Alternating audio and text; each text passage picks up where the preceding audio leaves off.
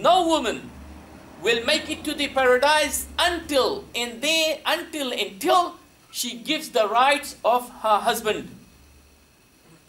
Even if he invites her for consummation of intimate relationship.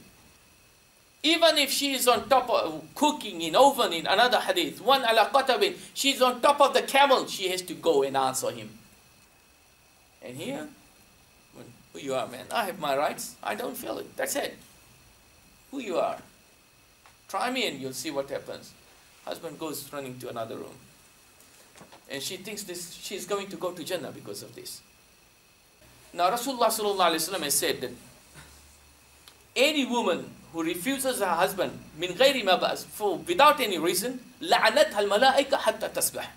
The angels they curse her till morning. أو حتى هي ترضيها زوجها until she comes and makes her husband get pleased. When Allah said الرجال قوامون على النساء, the men in simple language, al-qawama, al-qawama has many meanings, meaning they have the upper hand on women. One ayah saying women have upper hand on men. No, it cannot be. It's fitra, it's mother nature. Rasulullah sallallahu alayhi wasallam, he does not allow, which means this is Islam, for a woman to spend from the earnings of her husband without his permission. Also, there are Sahih hadith that if a woman she has her, her own wealth, she is not allowed to spend it without the permission, without discussion from the husband.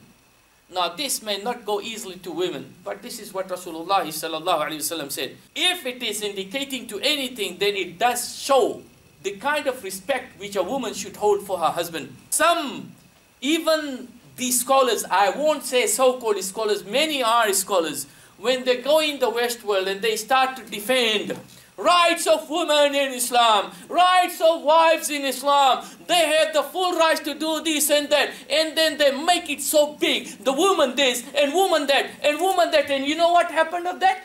They forget the true essence. If it is so much as you are promoting, why is this hadith here? Why? There has to be an element of control. There has to be an element of responsibility and answering to others. I never ask my wife and say, no, don't spend this. No, I never do those things. Never. But the thing is that she knows that I am the boss of the house. That if I say no, it is no. She may come and discuss with you. There is nothing wrong in that. But the moment if she starts to feel I'm the one with money and I can do whatever I want, and this is the starting point of things which are far west. And yes, a woman is not allowed to talk to any stranger for no reason. This is not being extreme. The beautiful clothes which you bought for seven, eight hundred dollars in Eid al-Fitr, you saw it when she went to eat sawanya and all those dishes. After that, you never saw it. But her girlfriends and others have been looking at it every time because you bought it for enjoyment, but unfortunately, it is for other people's eyes.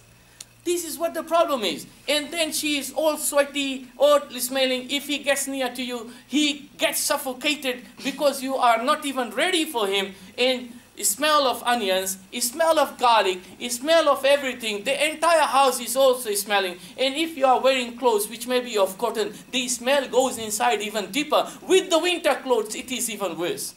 What is this? You expect your husband to be good with you? Rasulullah said, if one of you, uh, your husband, if he has pus right from the head to the foot, and if a woman, she goes and licks it, and this hadith is sahih, you would not have fulfilled the rights of that husband.